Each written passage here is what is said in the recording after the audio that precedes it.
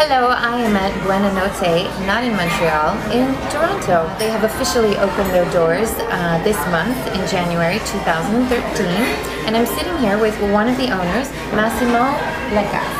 I'm so happy you guys are here. Um, I'm from Montreal, love Buonanotte. Every Montrealer knows Buonanotte. We were approached uh, a year ago to open uh, Toronto to six years ago, we opened uh, the Hotel Godin in Montreal, and I had the opportunity of working with many other F&B, uh, other F&B operators. Experience, I kind of learned of how you get to open restaurants in other cities, taking their models. We knew we had to have a local operator that was going to be able to guide us through the local Toronto, Toronto market. So we uh, forged a relationship with Main Crew. We, we chose this place on a, on a complete hunch.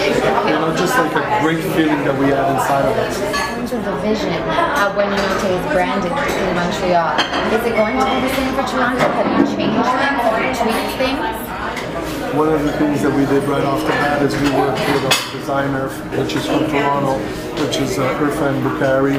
Right away, I mean, you knew that working with him, it was it wasn't going to be a carbon copy of Montreal.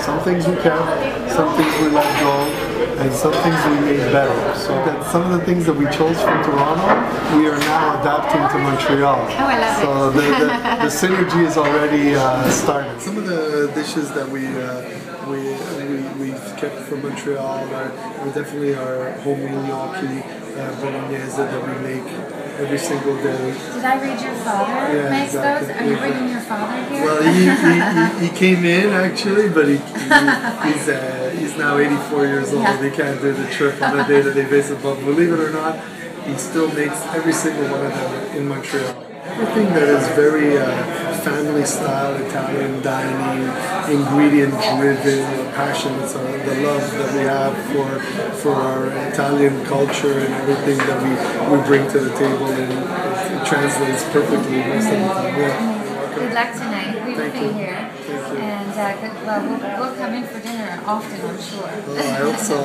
Thank you very much. Thank you.